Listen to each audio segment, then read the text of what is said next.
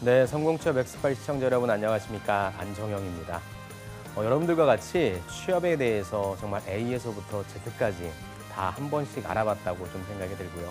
오늘 그리고 다음 시간 이 2회에 걸쳐서는 여러분들이 취업에 있어서 가장 궁금해하는 자기소개서와 면접에 대해서 전반적인 사항에 대해서 한번 좀 정리해 보도록 하겠습니다. 그래서 오늘 그 첫 번째 시간 자기소개서 어떻게 접근하면 좋을지에 대한 총정리 시작하도록 하겠습니다.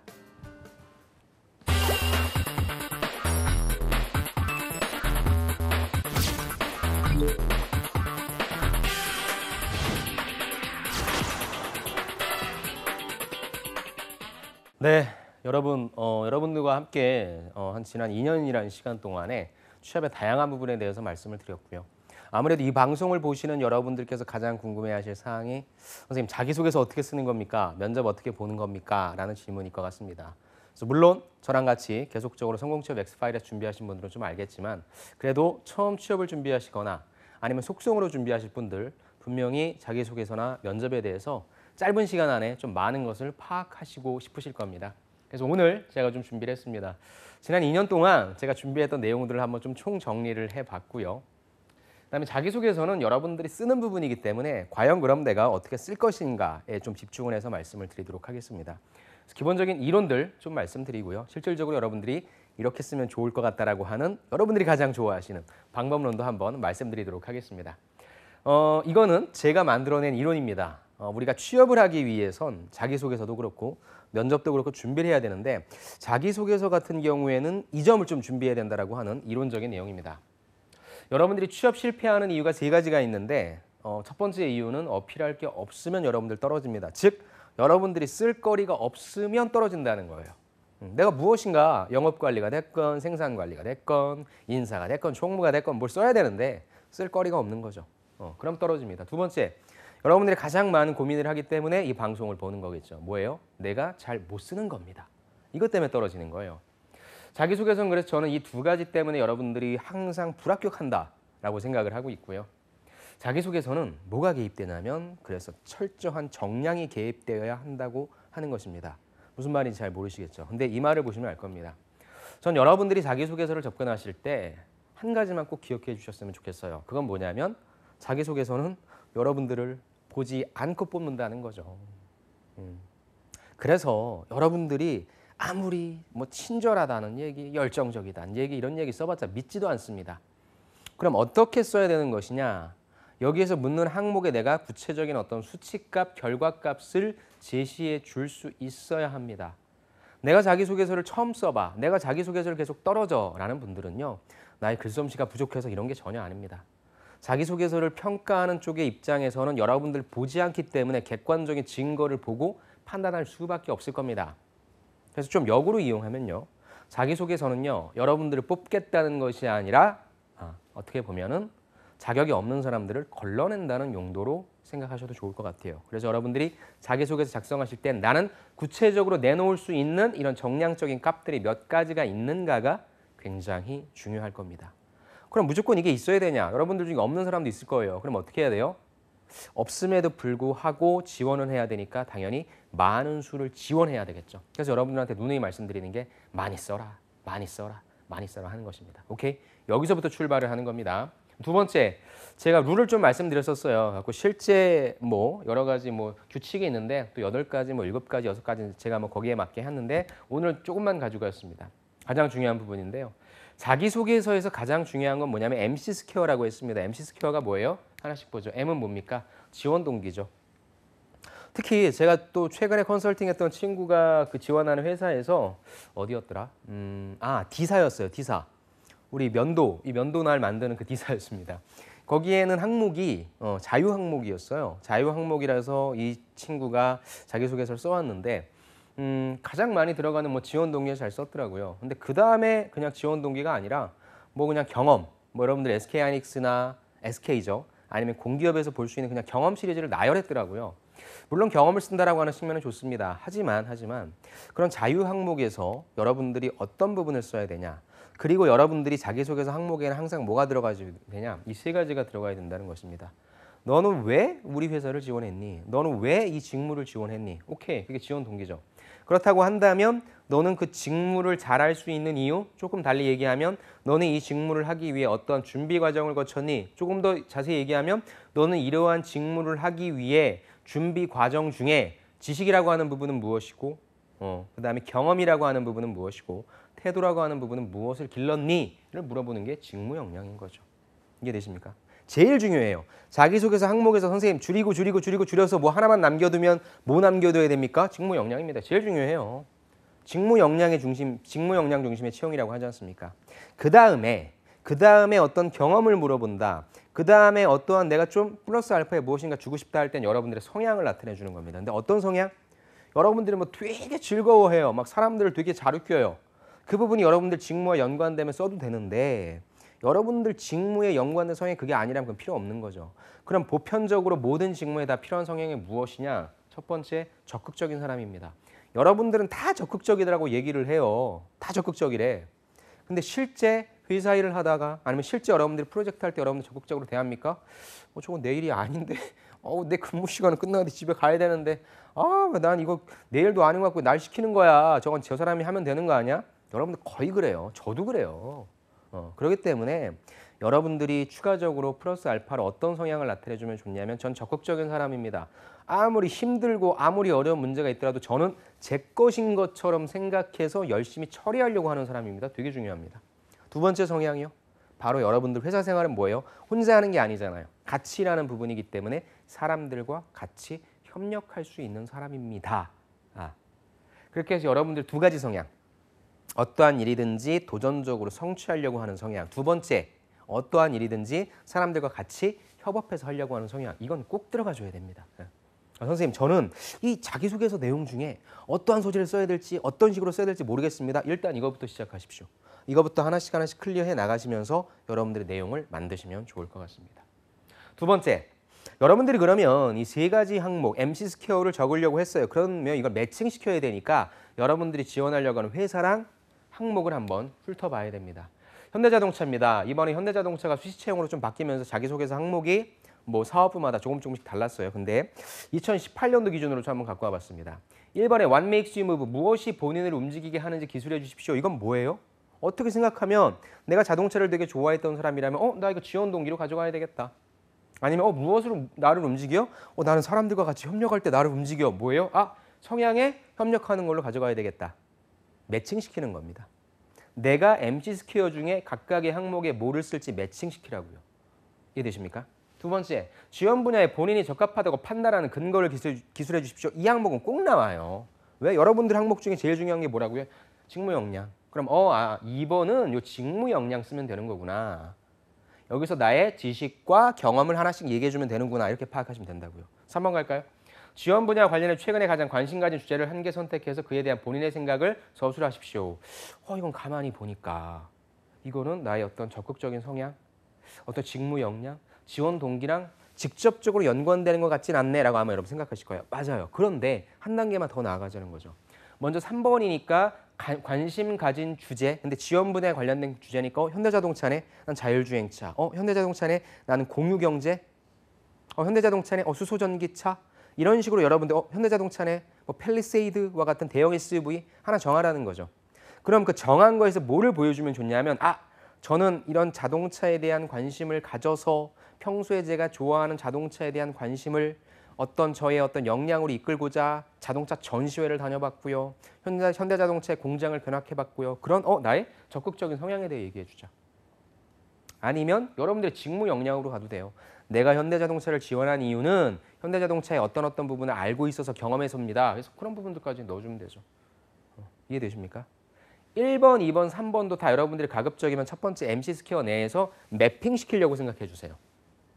그래서 mapping된 주제가 끝나면 이제 그 다음으로 넘어가도 되는데 일단 평가자한테 우선적으로 보여줄 건 무엇이다? 아, 지원 동기와 직무 역량과 성향이다. 이 부분을 각각의 항목에 어떻게 잘 녹여내는지 이 부분을 가장 먼저 여러분들이 자기소개서 쓸 땐 점검하시기 바랍니다.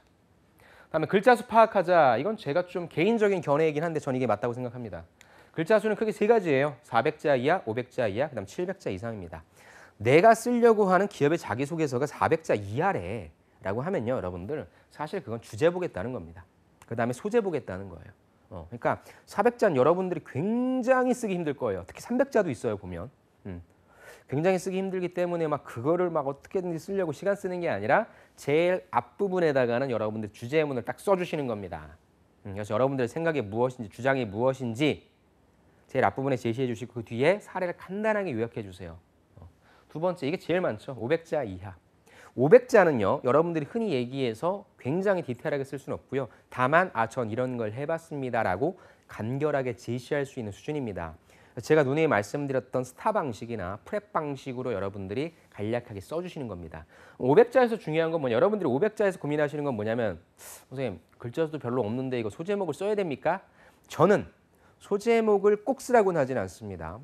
근데 내가 소제목을 쓸 것이 아니면 모든 글에는 항상 앞에 주제가 나와야 되니까 소제목을 쓸 게 아니면 두 갈식으로 써주자. 이 부분은 꼭 말씀드리고 싶습니다. 그 다음에 간략하게 STAR 스타 방식, PREP 프랩 방식으로 한 문장 한 문장 어, 그다음 여러분들의 노력한 방향에 있어서는 두 문장, 그다음 마지막 한 문장 이런 정도로 구성해 주자. 즉 500자는 간결하게 보겠다는 뜻입니다. 중요한 건 700자 이상이죠. 디테일해요. 700자, 800자, 1000자, 1500자, 2000자까지 간다라고 하는 것은 여러분들의 좀 디테일하게 써주셔야 됩니다. 이런 데는 항목도 많지는 않아요. 음, 그리고 실제 자기소개서를 조금 더 읽어볼 확률이 높습니다. 그래서 500자는 간교라, 700자는 좀 디테일하게, 그리고 한 1500자 이상부터면 저는 여러분들이 또 소재 부자잖아요. 막 또 하나의 소재만 얘기하면 약간 좀 아쉬워하잖아요. 그래서 1500자 이상부터는 두 개의 소재를 좀 써주셔도 좋을 것 같습니다. 자, 이거 한 가지 실질적인 팁을 드릴게요. 제가 이번 2019년도 상반기 공채 여러분들 자기소개서 컨설팅 진행하면서 물론 지금도 진행을 하고 있긴 한데 제가 이제 개인적으로 아는 인사 담당자분들한테 전화를 했어요. 음, 뭐 봅니까? 어, 뭐 봅니까? 물어보는데 굉장히 좀 재미있는 답변이 나왔습니다. 어, 그냥 소재.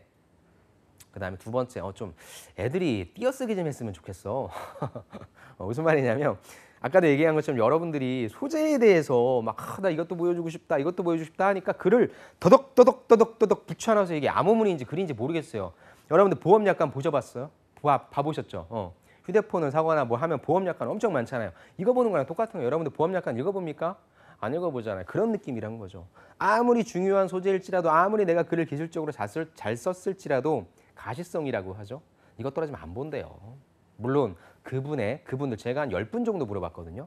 근데 그분들이 얘기하는 거에 있어서 가장 중요한 포인트 그거였어요. 좀 읽게 좀 써줬으면 좋겠어.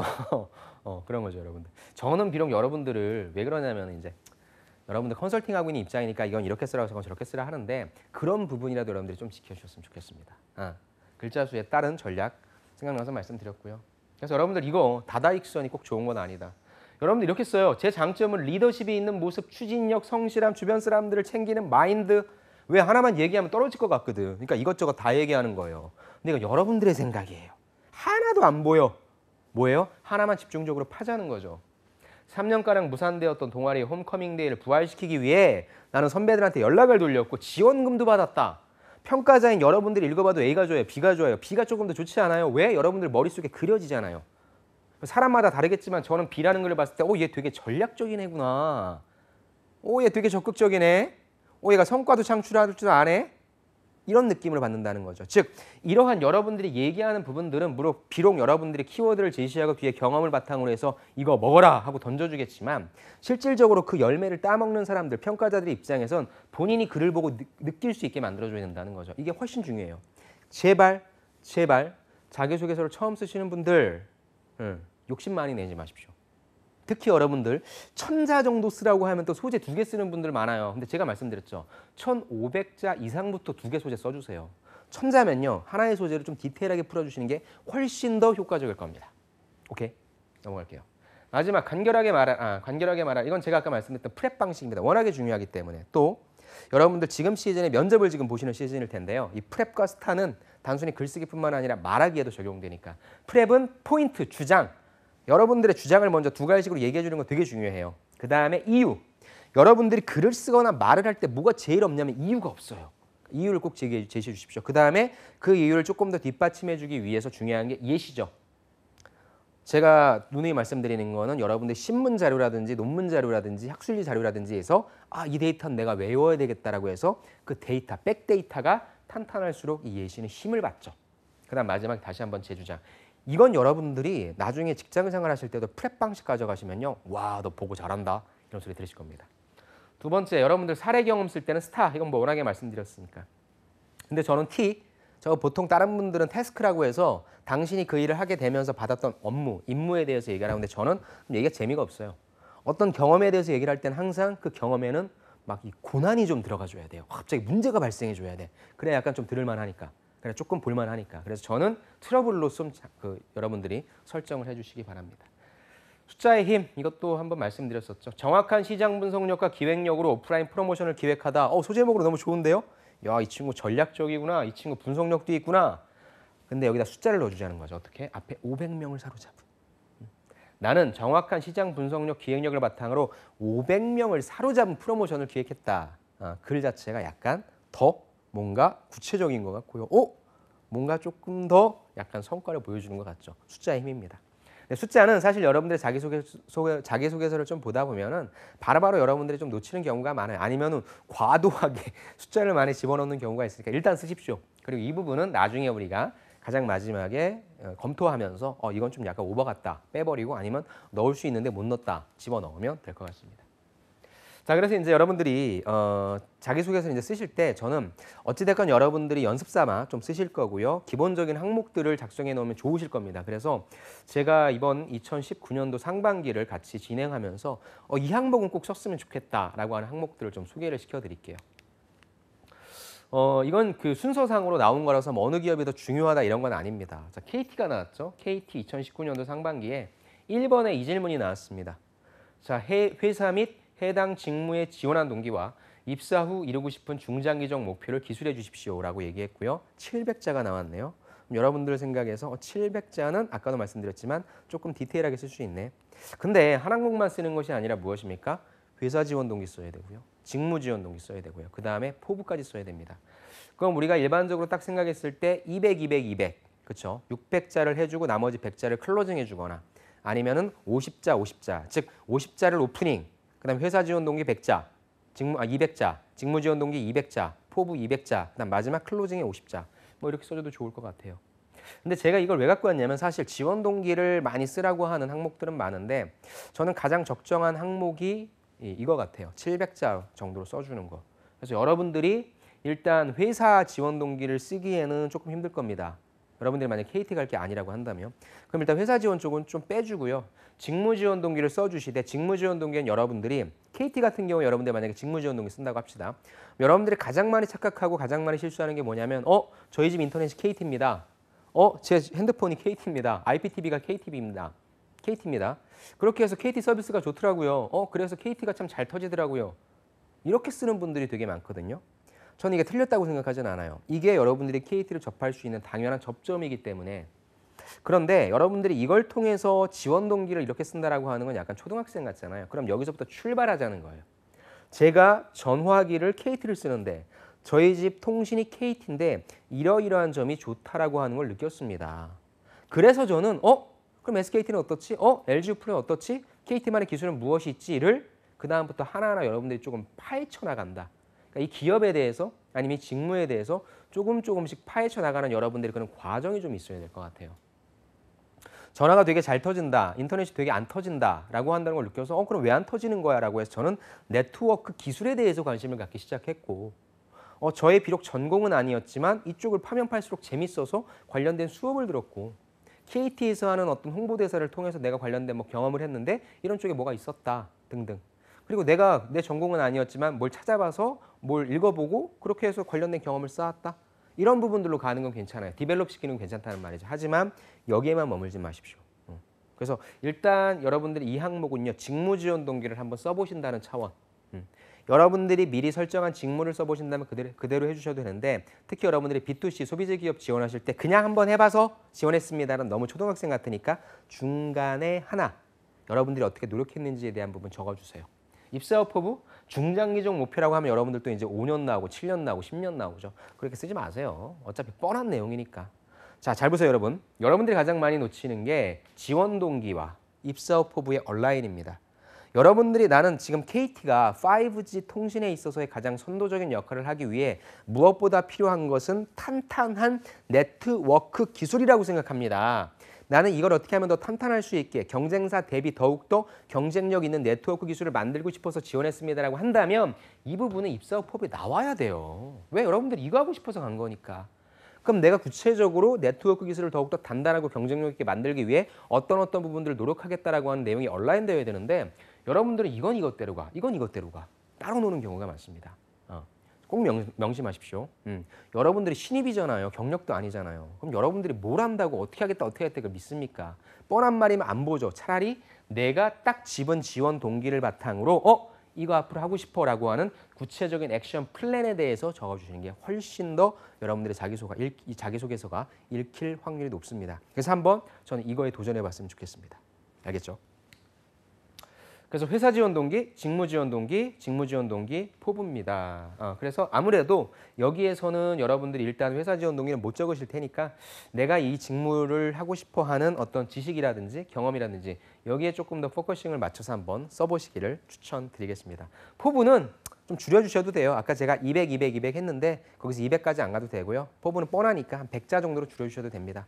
야, 넌 포부를 이따위로 적어서 떨어뜨릴 거다라는 회사는 없습니다. 어차피 다 뻔한 말 적기 때문에 아셨죠? 자, 3번도 좋더라고요. 3번에 이런 항목이 있었습니다. 공동의 목표 달성을 위한 협업 경험. 아까 제가 뭐라고 그랬어요? MC 스퀘어의 마지막 C 성향 어떤 성향? 협업 잘할 수 있는 성향 적으라고 했잖아요. 협업 경험을 본인이 수행한 역할 중심으로 제시하고 그 경험을 통해 무엇을 얻었는지 기술해 주십시오. 어, 여러분들의 협업 경험을 제시해 주는 겁니다. 그래서 일단은 여러분들이 작성해 주실 때 먼저 음, 협업의 주제 있잖아요. 그러니까 이건 구체적으로 어떤 프로젝트니까 어, 학교에서 어떤 프로젝트 할 때였습니다. 아니면 뭐 어느 회사에서 공모전 할 때 일입니다. 홍보대사 할 때 일입니다. 인턴 할 때 일입니다. 라고 해서 주제를 해주시고 그 다음에 본인의 역할을 먼저 좀 내려주십시오. 여기에서 나는 무엇을 하려고 했었습니다. 어, 그렇죠. 그래서 여러분들이 리더일 수도 있고요. 여러분들이 팔로우일 수도 있습니다. 뭐 리더가 좋다, 팔로우가 좋다 이런 건 아니지만 거기서 여러분들이 구체적으로 저는 리더로서 팀을 이끌어야 됐습니다. 저는 한 팔로워로서 조직 구성원으로서 이러이러한 목표를 해결하려고 노력했습니다. 이렇게 적어주시는 거죠. 그래서 구체적으로 어떻게 하셨는지 리더라면 리더로서 팔로워는 팔로워로서 구체적인 행동들을 적어주시는 거죠. 그래서 그 결과 나는 이렇게 이렇게 했다. 그 결과 나는 이러이러한 성과를 얻었다라고 하는 것이고요. 가장 중요한 게 배운 점이죠. 그래서 협업 경험이라고 하는 것은 사실 여러분들이 다 뭐 상대방 경청했다라고 얘기하고요. 힘들었지만 내가 뭐 적극적으로 다가갔다 뭐 이런 얘기해서 사실 그렇게 큰 경쟁력 없어. 저는 여기에 경쟁력은 소재라고 생각하거든요. 음. 저는 계속 여러분들한테 강조드리는 게 자기소개서의 가장 중요한 부분은 소재라고 좀 말씀드리고 싶어요. 그래서 얼마만큼의 경쟁력 있는 소재를 좀 적어냈냐라고 하는 부분이고요. 저는 여러분들이 이렇게 협업, 남들과의 경험 같이 적어주실 때 꼭 주의하셔야 할 부분이 뭐냐면 남들을 되게 나쁜 사람들 많이 만들어요. 되게 무기력한 사람들을 많이 만들고 되게 바보를 많이 만들어요. 나만 정상적인 사람인 거야. 나만 이 조직에 되게 열정을 다하는 사람인 거야. 이건 조금 지양해 주시기 바랍니다. 그건 조금 조심해 주세요. 다음에 SK입니다. SK. SK는 뭐 워낙에 중요한 부분들이 많으니까. 1번. 자발적으로 최고 수준의 목표를 세우고 끈질기게 성취한 경험에 대해 서술해 주십시오. 어, 그래서 일단 이거 같은 경우에는 두 가지식으로 주제를 먼저 얘기해 주세요.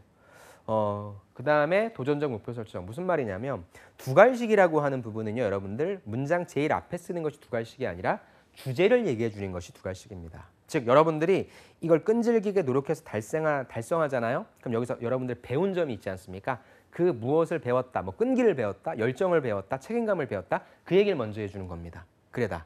그 다음에 여러분들이 꼭 이, 이거 써줄 때는 뭐를 안 쓰냐면 목표가 제시가 되지 않았어요. 여러분들 머릿속에 있으니까 여러분들은 그냥 이렇게 써도 표현이 될 거라 생각하는데 그건 여러분들의 입장인 거고요. 이 글을 처음 보는 사람은 어? 그럼 당신의 목표는 무엇이죠? 이게 없습니다. 그래서 꼭 목표를 설정해 주십시오. 그 다음에 이게 제일 중요하죠. 이 목표를 이걸 하기 위해서 내가 얼마나 고군분투했는지 도전적인 목표라고 했잖아요, 여러분들. 일상적인 목표가 아니라 도전적인 목표라 했으니까 고군분투한 내용, 그 다음 자체적 결과까지 써주시면 좋을 것 같습니다. 그래서 이건 꼭 써놓으세요.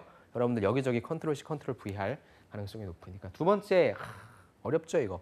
새로운 것 접목하거나 남다른 아이디어를 통해서 문제를 개선했던 경험에 대해서 서술해 주십시오. 흔히 얘기하는 창의적인 경험인 거죠. 역시 두 가지식으로 주제 해주십시오. 여러분들이 이 항목에 대해서 작성해 주실 때 저는 제일 중요한 게 현 상태에서는 그럼 이게 왜 해결이 안 됐냐. 예를 들어 우리가 지금 이렇게 제가 방송에서 녹화하고 있지 않습니까? 녹화를 하고 있는데 시간이 계속적으로 지연되는 거예요. 근데 이건 늘 지연되어 왔었어요. 그렇다면 너는 생각하는 거죠. 여러분들이 그 얘기를 해줄 때 어? 기존에 녹화를 하는데 녹화가 항상 지연되는 이유는 무엇이었습니다라고 하는 문제점인 거죠. 어. 그러니까 기존에는 그런 노력을 안 했다는 거니까 아니면 노력을 했음에도 불구하고 기존에 그게 해결이 안 됐다는 거니까 분명히 이걸 제시해줘야 평가자가 아 기존에는 이런 문제가 있기 때문에 이게 안 됐었는데 지금은 이 지원자가 해결책을 찾기 위해서 그래서 다른 해결책을 찾았구나. 해결책을 찾기 위해서 아, 그래서 이렇게 노력했구나를 보여줘야 되는 거죠. 그래서 여러분들이 제일 많이 빼먹는 게 이겁니다. 기존에 했던 방식으로는 어떤 부분이 문제였다는 것을 얘기를 잘 안 해줘요. 바로 일로 들어가요. 그러니까 꼭 문제점을 얘기해 주십시오. 그렇게 해서 결과를 냈다. 사실 창의적인 경험은요, 어, 여러분들이 많이 하기는 좀 쉽지 않을 것 같습니다. 그래서 저는 이건 제가 누누이 말씀드리지만 다양한 다른 분들의 자기소개서를 좀 보시면서 아 이런 부분을 창의적으로 좀 만들어냈구나. 그러니까 창의적으로 좀 설정하는 부분이 필요하긴 해요. 그래서 좀 다양한 분들의 자기소개서를 읽어주시기를 추천드립니다. 그 다음에 직무죠. 직무에 관련된 부분인데 이 3번은 SK도 각각의 그룹사의 기업, 그 계열사에 따라 조금씩 다르거든요. 여기는 좀 디테일하게 나와 있어 갖고 왔습니다. 네가 이거를 잘하려고 한다면 프로젝트나 공모전이나 대회나 논문이나 연구나 학습 및 기타 활동에 참여했던 경험을 바탕으로 서술해 달라고 했습니다. 심플하게 가는 거예요. 어. 예, 저는 이거를 잘할 수 있는 이유가 크게 세 가지 있습니다. 첫 번째, 지식입니다. 두 번째, 경험입니다. 세 번째, 뭐 태도입니다. 이런 식으로. 어. BGF 마지막으로 BGF 좀 하나 볼게요. 4번입니다. 평소 서비스 제품 이용 시 느꼈던 장단점을 기술하고 경쟁력을 제고할 수 있는 아이디를 제시하시오. 여러분들이 지원하는 곳이 B2C입니다. 여러분들 접할 수 있어요. 그거는 꼭 이거 준비하십시오. 어, 어찌됐건 여러분들이 면접장 가서도 이게 여러분들을 차별화시킬 수 있는 답변이 될 테니까. 그래서 역시 두 가지식으로 주제에 대해서 말씀해 주시고요. 저는 뭐 두 가지 정도 말씀드리고 싶습니다. 해서 첫 번째 장점입니다라고 해서 내가 CU 편의점을 이용했을 때 장점, 두 번째 단점입니다. 근데 더 중요한 건 뭐예요? 단점 쪽으로 focusing이 가야 되죠. 단점, 그것이 나쁘다고만 얘기해 주시는 것이 아니라 이를 보완할 대안 꼭 제시해 주십시오, 여러분. 음. 여러분들이 지원하는 기업이 BGF, 아까 얘기했지만 뭐 어떤 통신사, 백화점, 마트 이런 데예요. 그런 부분들은 꼭 이 내용에 대해서 여러분들이 답변을 준비해 주시기를 부탁드리겠습니다.